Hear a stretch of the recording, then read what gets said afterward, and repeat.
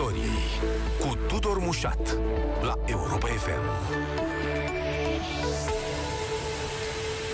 Bun găsit uh, tuturor pe frecvențele radio și live uh, pe Facebook. Ediție specială Piața Victoriei în această seară a șaptea zi de război în uh, Ucraina, cu tot mai multe bombardamente din partea rușilor și implicit cu tot mai multe uh, victime. Blitzkriegul pe care îl plănuia Vladimir Putin nu a reușit, dă toate semnele că se va transforma într-un război de, de uzură. E aproape o certitudine pentru toată lumea că invazia asta a fost uh, condusă, construită prost în raport cu, cu scopul uh, propus și că Rusia nu se aștepta nici la rezistența asta din partea armatei ucrainiene și a civililor, uh, nici ca trupele proprii să fie atât de uh, derutate, ca să nu mai vorbim de reacția lumii libere. Uh, sancțiunile devastatoare plus uh, sprijin militar uh, și logistic uh, pentru Ucraina. Acum, odată ce toată lumea pare să fi convenit că Vladimir Putin a pierdut deja, întrebarea care rămâne este dacă și Vladimir Putin recunoaște asta sau dacă o recunoaște, ce va face odată ce consideră că jocul ăsta, dintr-o anumită perspectivă, s-a închis. Este prima, primul palier de discuție în, în seara asta ce îi rămâne de făcut în acest moment uh, dictatorului de la Kremlin.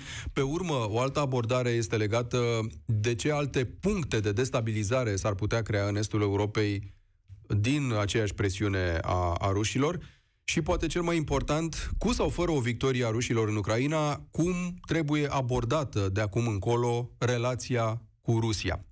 În studioul Europa FM este analistul politic Costin Ciobanu. Bună seara! Bună seara, vă mulțumesc pentru invitație. Ni se vor alătura pe parcursul emisiunii uh, punctual și expertul în securitate Harry Bucur Marcu și profesorul de relații internaționale Valentin uh, Naumescu. Până atunci, uh, domnule Ciobanu, ce va face Vladimir Putin odată ce știm în ce punct am ajuns, măcar asta știm. Nu intuiam toate planurile, nu a fost clar pentru multă lume ce vrea de fapt cu, cu toată povestea asta, dar știm în ce impas se găsește acum. În, în ce punct ne aflăm acum? Până să vedem ce va face, cred că putem constata ce face. Lansează un atac total, un atac nediferențiat în Ucraina, după o săptămână în care, așa cum spuneați, Rusia nu și-a îndeplinit obiectivele militare. Acum vedem o intensificare a ostilităților, vedem tot mai multe victime civile și vedem uh, cereri ca um, lucru care se întâmplă acum în Ucraina să fie investigat de Curtea Penală Internațională. Mm-hmm. Cred că dincolo de uh, visele de mărire ale lui Vladimir Putin trebuie să vedem drama umanitară și drama umană care se întâmplă în aceste zile în, în, în Ucraina.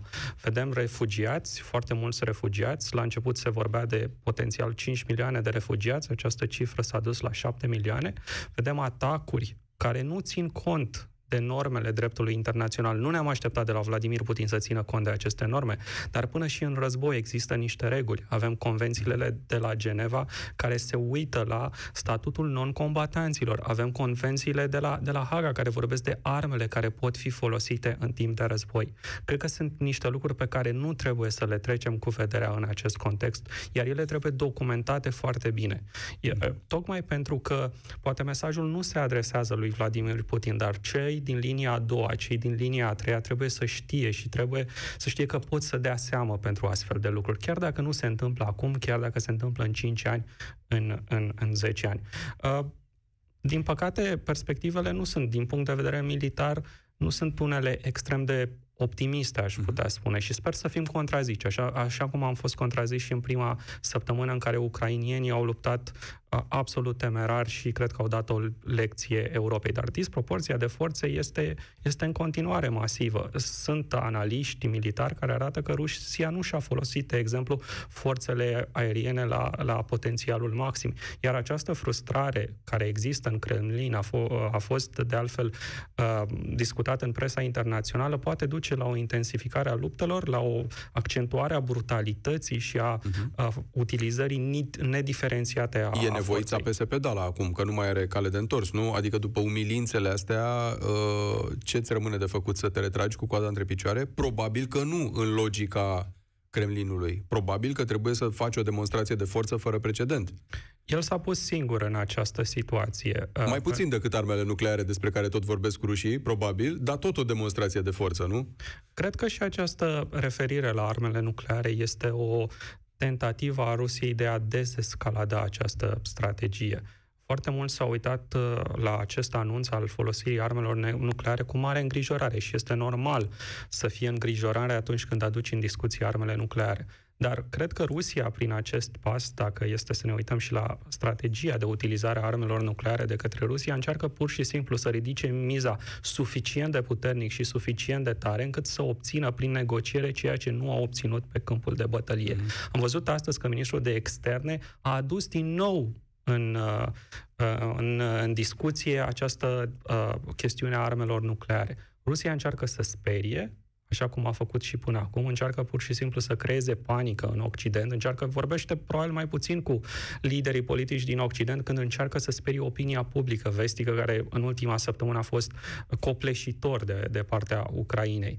Uh, și, așa cum spuneam, încearcă să, să pună capăt acestei acestui ajutor care a venit și militar, și umanitar, și economic dinspre vest către, către Ucraina. Um, cred că trebuie să ne uităm mai puțin la ce vrea să facă Vladimir Putin și ce efect vor avea aceste sancțiuni dacă ele până la urmă vor reuși să pună capăt al acestui regim. Pentru că devine foarte clar, cu Vladimir Putin la Kremlin, este foarte greu să există stabilitate și pace în Europa. Bun, da, rămâne totuși uh, de discutat să zicem că într-o formă sau alta, ca urmare a diverselor uh, presiuni, uh, nu știu, mergem cu imaginația departe și spunem că Vladimir Putin va fi înlocuit la un moment dat sau va, va fi extras din toată povestea asta Uh, situația va rămâne. O Ucraina prezumtiv uh, ruptă în fâșii, în bucăți, nu? Uh, cu o jumătate sau cel puțin o treime controlată de ruși, cu mari probleme, moștenirea asta rămâne și unui viitor lider care probabil își va asuma această... Nu, nu cred că va veni un lider care să spună ne pare foarte rău că am fost imperialiști până alaltă, ieri de azi nu mai suntem, promitem. Nu? Adică e, sigur, am simplificat, dar E, e foarte greu de, de spus ce se va întâmpla cu, cu Rusia. Vedem în aceste zile, practic... Adică lași o Europa de est zdrențuită într-un anume fel. În, uh, Da, problema, problema Rusiei și uh, chestiunea securității, ordinii de securitate în Europa va trebui la un moment dat discutată, dar nu cred că este acest moment. Deocamdată ar trebui, uh, a existat foarte mult tentația de a, de a pune pe prim plan această discuție despre securitatea în Europa și despre cerințele Moscovei și a sacrifica oarecum ceea ce se întâmplă în Ucraina. A vorbit foarte mult despre discuții geopolitice, despre finlandizarea Ucrainei, uh, despre, despre ce ar trebui să facă sau nu ar trebui să facă liderii Ucrainei. Cred că acest tip de discuție uh, este oarecum uh, ceea ce Kremlinul își dorește și uh, până când nu o să ajungem la un deznodământ în, în această chestiune, n-ar trebui să gândim astfel de scenarii. Probabil că există, ele există la nivelul liderilor, liderilor politici. Cred că acum principala chestiune care ar trebui să se întâmplă în vest și din fericire se întâmplă este deconectarea și decuplarea masivă a economiei europene și a economiei vestice și a, nu doar a economiei, și a politicii, pentru că și acolo au fost uh, influențe puternice, de Moscova. Iar acest lucru este prioritatea pentru anii următori pentru vest. În ce măsură uh, vom vedea o radicalizare în Rusia sau pur și simplu uh, oamenii vor aborda o atitudine mai rațională este, este de văzut. Expertul în securitate, Harry Bucur Marcu, ni se alătură. Bună seara și vă mulțumesc foarte mult!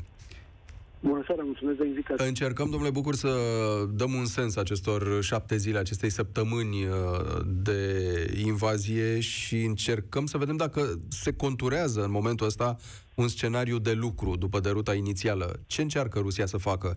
Să rupă no. niște bucăți din Est?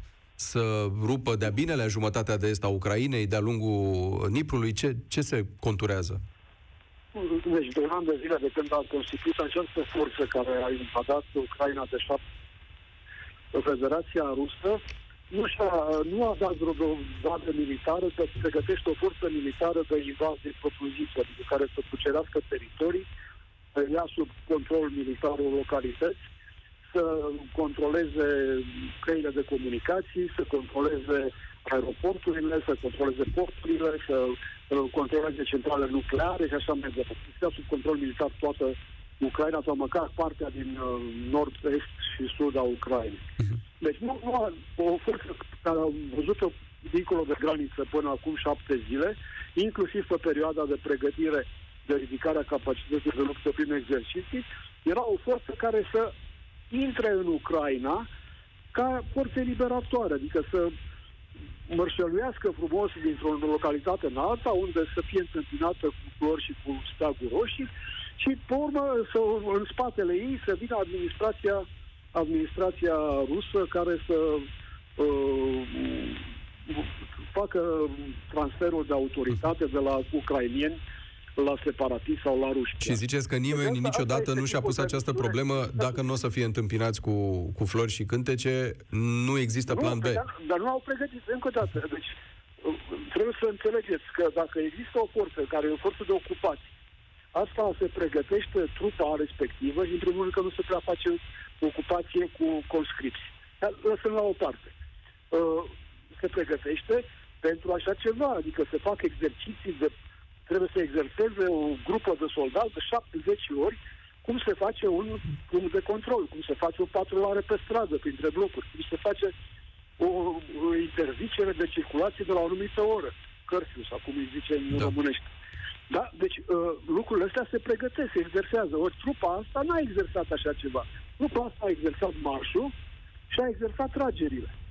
Deci trupa asta știe, care a intrat în Ucraina, mhm. știe să distrugă, știe să ucidă și știe să se deplaseze dintr-o parte în alta. Mai departe nu știe. Și atunci nu întrebarea este, domnule Bucur, ce, ce va face trupa cealaltă, care presupunem că vine să o dubleze pe asta sau să o scoată din deci, umilința în care s-a afundat? Nu de unde. Deci, deci ei s-au epuizat. Ei au pregătit 160-150 de mii de, de iși. Asta înseamnă uh, o groază de divizii, da, de 15 divizii, le-au pregătit, le-au dispersat pe o suprafață destul de mare, le-au dat obiective de acestea de intrat în localitate, nu de cugeri localitatea prin asediu, prin, uh, știu și eu, uh, lovirea și anihilarea punctelor tari din, uh, din apărarea localității și așa mai departe. Deci nu au făcut toate astea, n-au n-au adus nici măcar arsenalul de lovire din aer sau cu rachete suficient pentru asemenea operații. Deci operația pe care au pregătit-o ei și au executat-o deosebit de prost este cea de, cum v-am spus, de intrare și de de intrare și de prezență Bun. militară pe un teritoriu Acum, ostil. Temerea mea de nespecialist este, de pildă, că după, repet, eșecul ăsta, uh, se va recurge la cea mai crâncenă dintre formule, nu știu, bombardarea cu avioane, nimicire, că nu mai, pe principiu că nu mai contează, pe principiu că decât să ieșim da, umiliți de aici, mai bine omorâm mii și zeci de mii de civili și asta e, îi etichetăm pe toți trădători.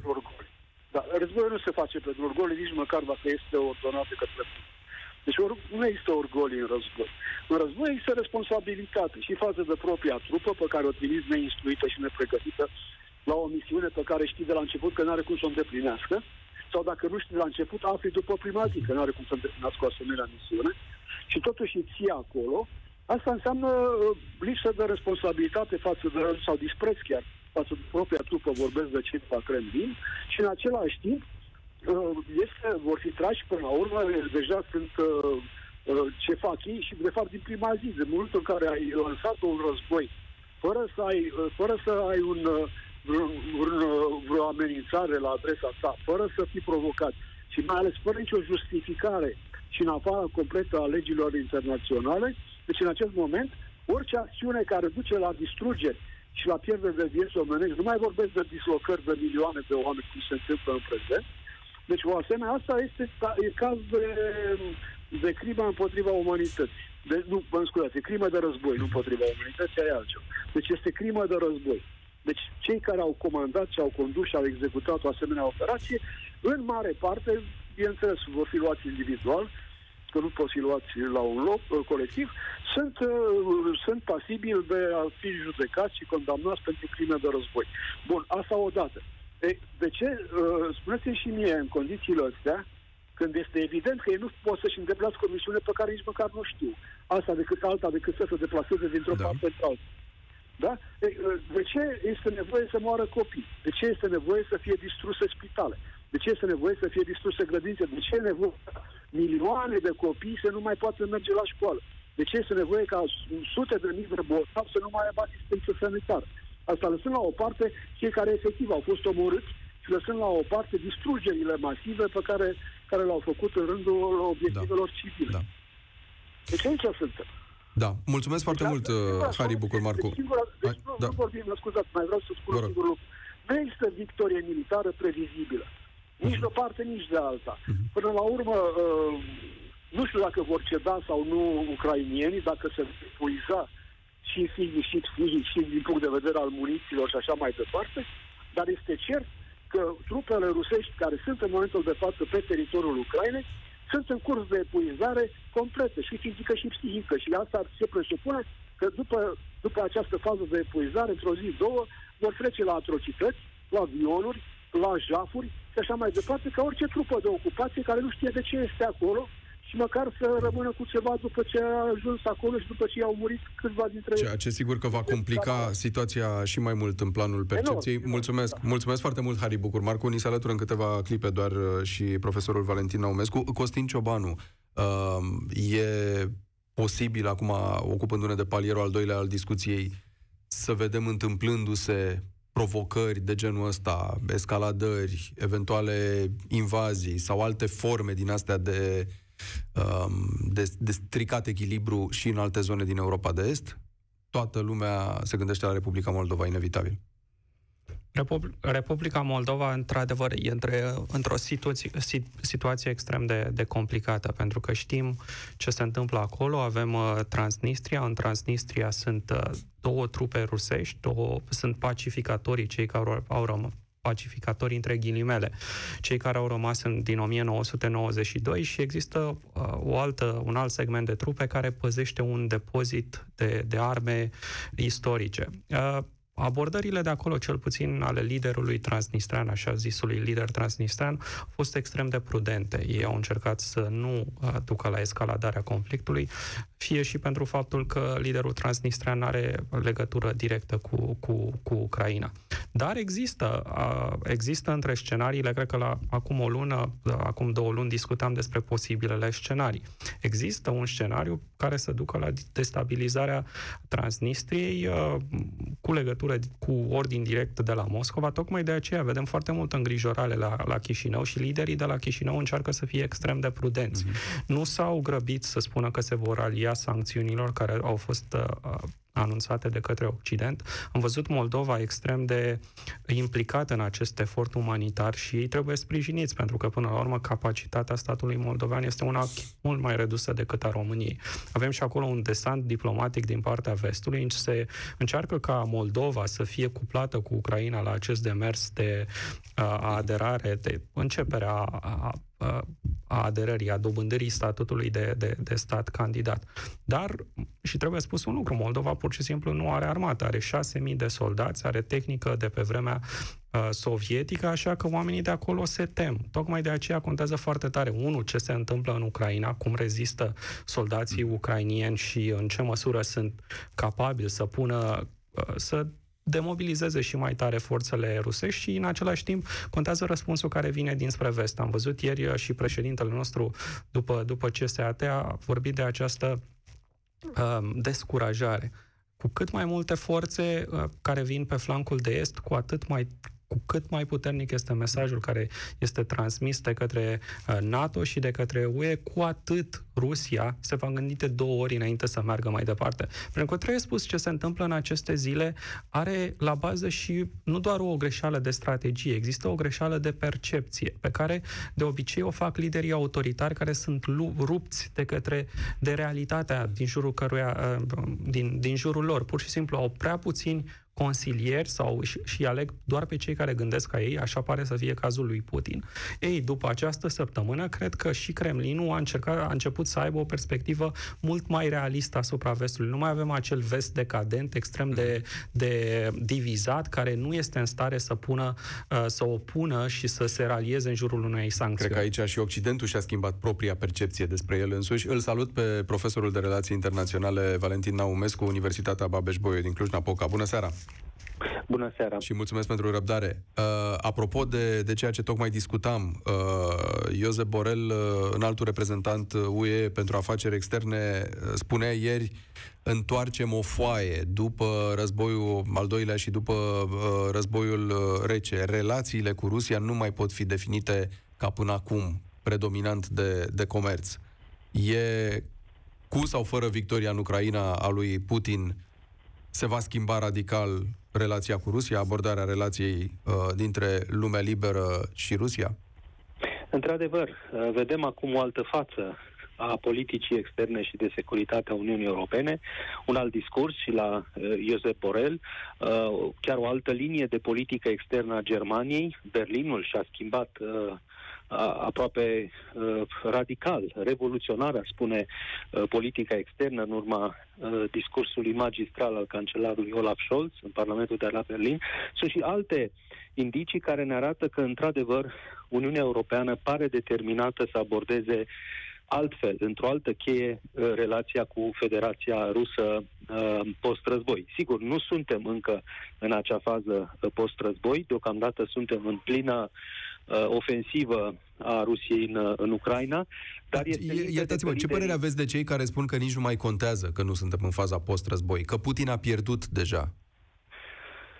Uh, eu am aici următoarea abordare și o să o repet și în emisiunea dumneavoastră. Uh, nu am nicio îndoială că uh, Putin și Rusia vor pierde războiul în Ucraina, dar asta se va întâmpla pe termen lung.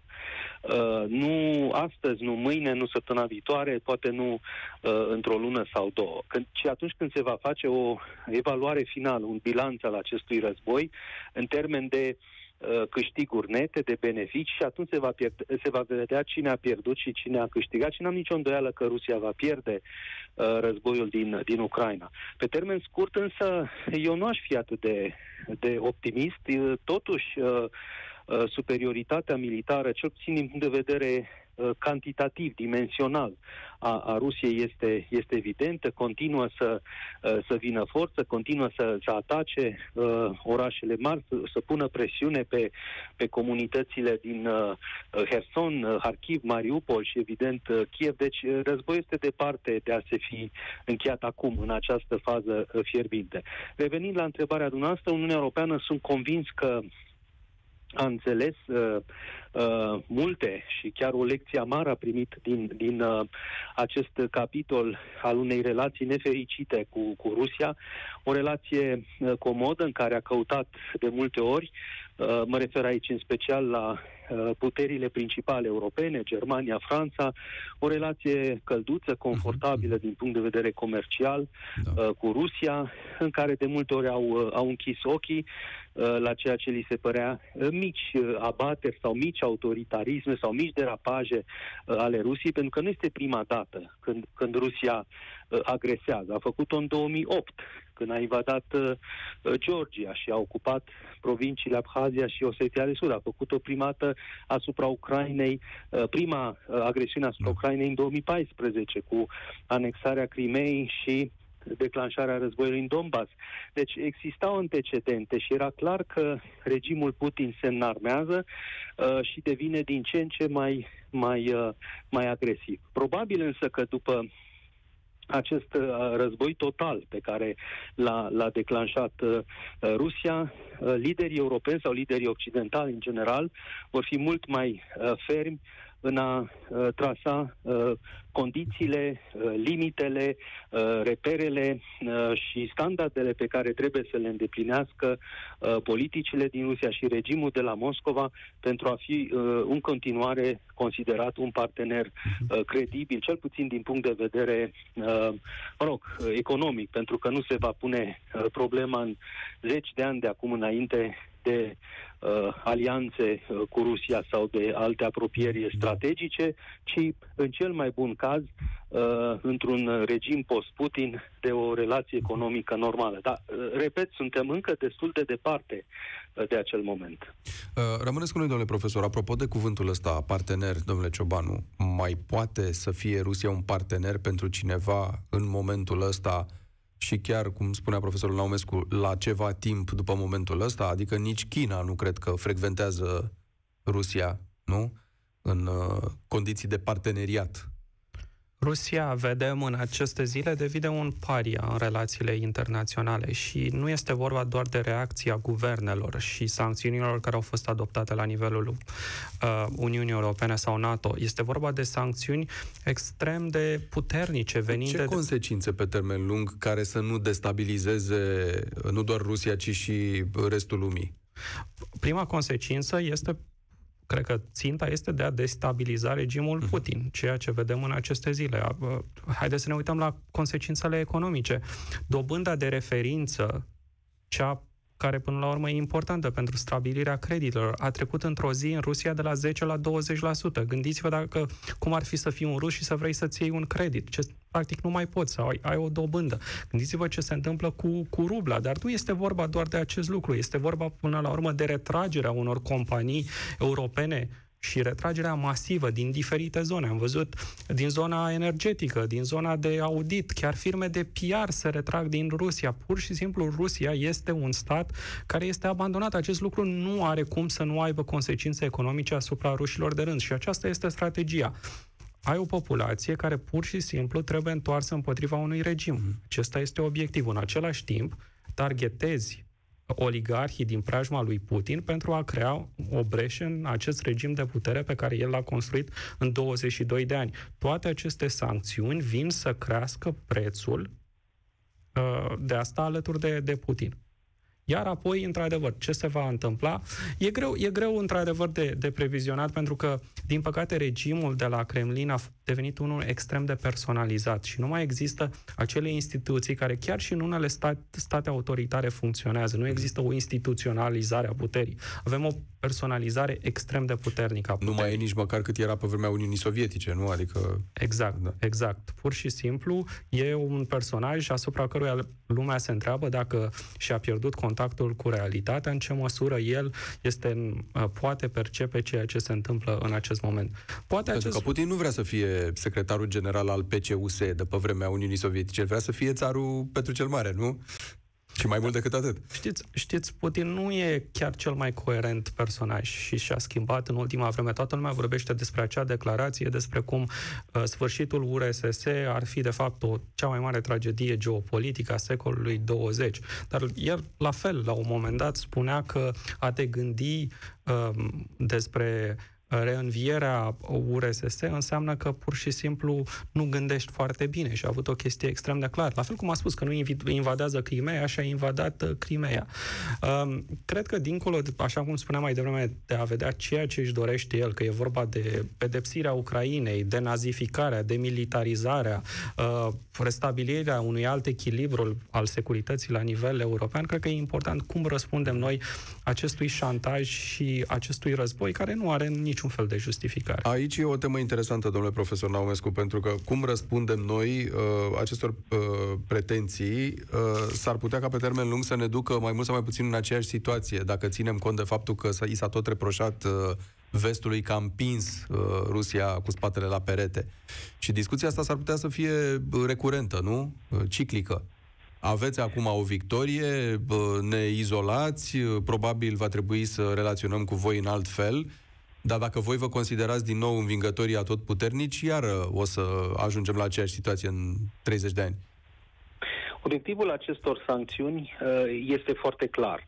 Uh, sancțiunile trebuie să producă uh, o mișcare de rezistență uh, și de împotrivire la adresa regimului Putin. Uh, rușii de rând trebuie să înțeleagă că vor suporta un uh, preț din ce în ce mai mare, uh, un cost din ce în ce mai greu al faptului că țara lor uh, are un regim uh, agresor uh, și criminal. Aceasta este esența acestor sancțiuni și eu cred că ele vor începe să-și uh, facă efectul uh, în, în zilele și în săptămânile următoare, chiar dacă s-ar putea să fie, uh, din păcate, prea târziu pentru, uh, pentru Ucraina. Deci aici e o altă chestiune legată de timp, de momentul în care au fost adoptate, dar, în fine, ele există și, și e bine că există și acum. Da. Pe termen lung, uh, eu cred că s-ar putea să uh, existe o lecție și la nivelul societății ruse. Uh, vedem că apar deja proteste nu foarte mari până în acest moment, dar apar proteste în marile orașe.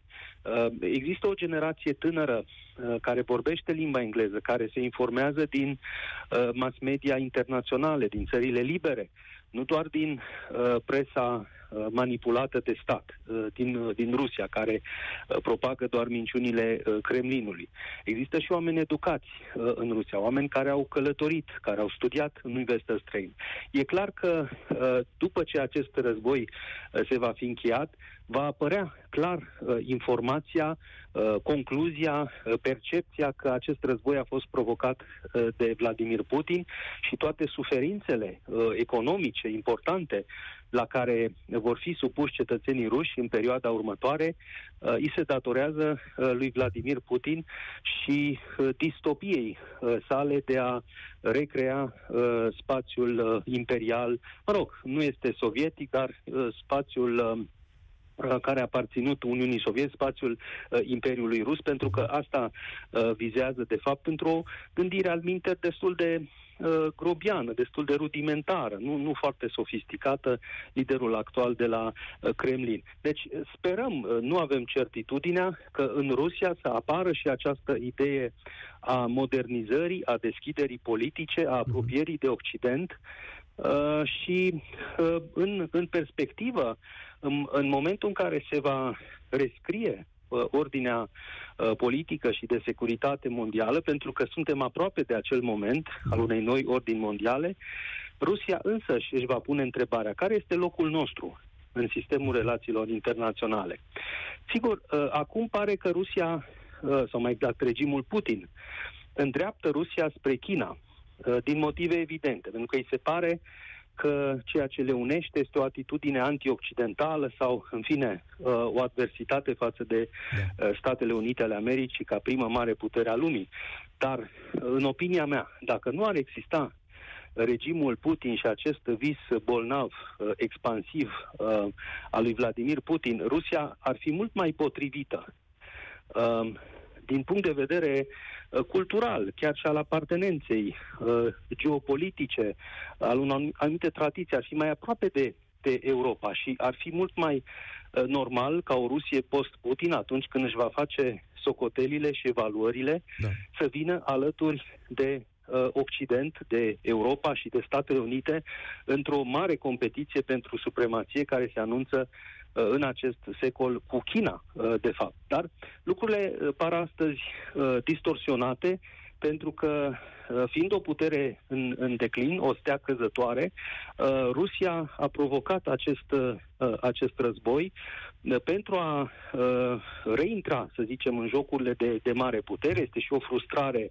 poate care ține de biografia personală uh, a lui uh, Vladimir Putin, dar, uh, dar acest război la un moment dat uh, la un moment dat se va încheia și Rusia îl va pierde. Acela va fi un moment extrem de important ca Occidentul, Europa, uh-huh. să sprijine acea facțiune din, din societatea rusă, să o numim uh, liberală, pro-occidentală, care să încerce să uh, recapteze, să direcționeze Rusia pe o, pe o traiectorie uh, apropiată de Europa, de Europa și, sigur, să pună da. punct acestui vis uh, uh, absolut uh, uh, maladiv al, al cuceririlor și al uh, Imperiului. Da. Mulțumesc foarte mult, domnule profesor Naumescu. Uh, concluzie, domnule Ciobanu, cumva întorcându-ne simetric la, la ce discutam la început, uh, ieșirea din situație acum, în viitorul foarte apropiat a lui Putin, care pare să fie una, cum să spun, extrem de, de sângeroasă,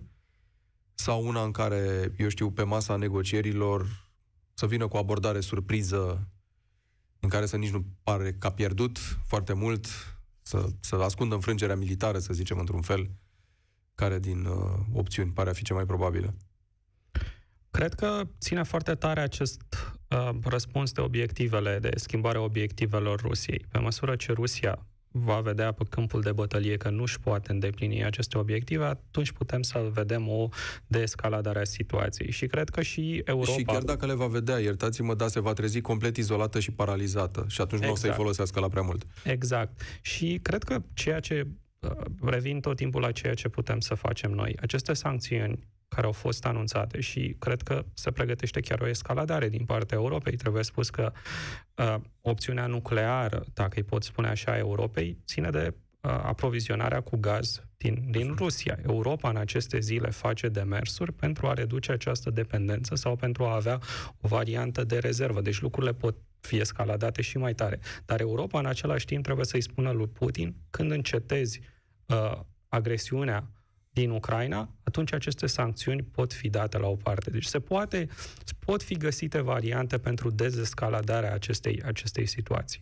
Și cred că um, Până la urmă și atitudinea populației ruse va conta, va conta foarte tare și ce se întâmplă în zona elitelor, pentru că populația rusă în decembrie doar 8% erau de acord cu agresiunea din, Când din Ucraina. vezi câteva mii de protestatari din 144 de milioane, te Este greu că, pentru că acei da. oameni ajung, ajung la Știm, pușcărie ajung automat pentru a face da. și probabil sunt mult mai mulți care sunt nemulțumiți de acest regim. Să sperăm că aceste sancțiuni își vor produce efectele și în același timp să sperăm că uh, ucrainienii vor rezista și cât mai puțin civil vor avea de pierdut din aceste Și că la Kremlin lucruri. aparatul va fi cel care dă tonul schimbării, nu neapărat strada, că cu strada ne-am lămurit. Jumătate nu vor, jumătate se tem de închisoare, în fine. Pe măsură, nu este primul regim care este într-o asemenea situație. Pe măsură ce crește presiunea pe cei din jurul liderului, pentru că un lider autoritar cum se menține la putere? Mituindu-i pe cei din cercul său de apropiați.